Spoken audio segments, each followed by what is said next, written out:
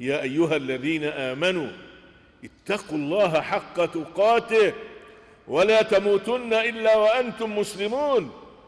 لا ترجعوا إلى الجاهلية. النبي صلى الله عليه وسلم كان يحذر الأمة أن يرجعوا إلى كفر الجاهلية.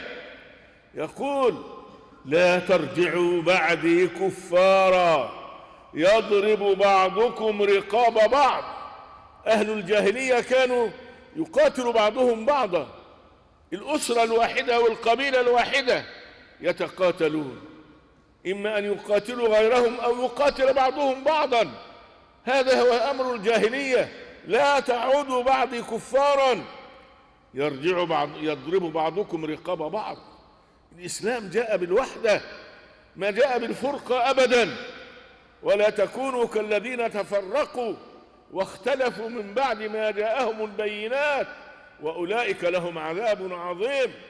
يوم تبيض وجوه وتسود وجوه. جاء الإسلام يوحد ويجمع.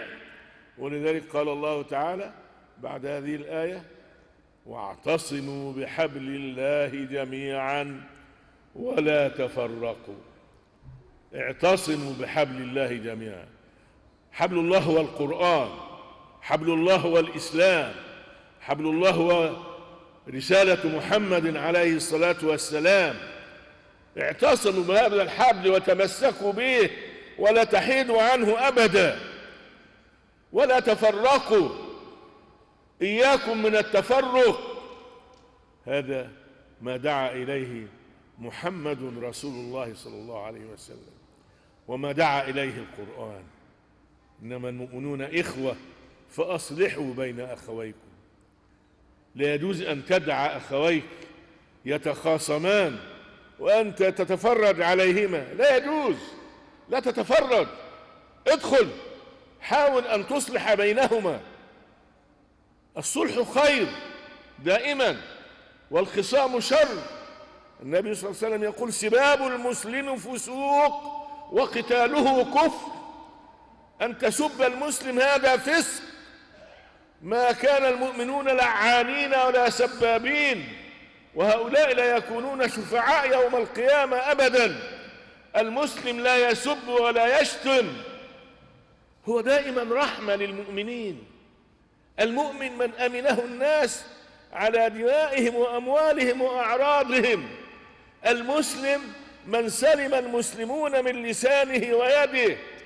ليس سابا لأحد ولا لعانا لأحد أبدا. هذا هو شأن الإيمان. لا يجوز لمجتمع مؤمن أن يلعن بعضه بعضا ويسب بعضه بعضا ويقف بعضه ضد بعض. ما هذا بالإسلام أبدا؟ الذين يفعلون ذلك ليسوا بمؤمنين. الذين يثيرون الفتن بين المؤمنين بعضهم وبعض. ويؤلبون بعضهم على بعض ليس هؤلاء من المؤمنين أبدا. المؤمنون يسعى إلى أن يجمعوا المؤمنين بعضهم على بعض ويصالحوهم.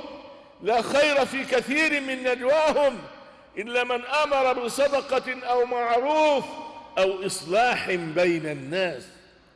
ومن يفعل ذلك ابتغاء مرضات الله فسوف نؤتيه أجرا عظيما. فاتقوا الله وأصلحوا ذات بينكم وأطيعوا الله ورسوله إن كنتم مؤمنين. إن كان عندكم من الإيمان مستمسك فاسعوا إلى أن تصلحوا بين المؤمنين. أصلحوا بين أخويكم. لا يجوز أن تترك المؤمنين يقاتل بعضهم بعضا ويلعن بعضهم بعضا ويسب بعضهم. ليس هذا من مجتمع الإيمان في شيء الذين يسعون إلى ذلك ويسرون به ليسوا من أهل الإيمان. أهل الإيمان دائما مجمعون مؤلفون بين القلوب ليسوا نمامين.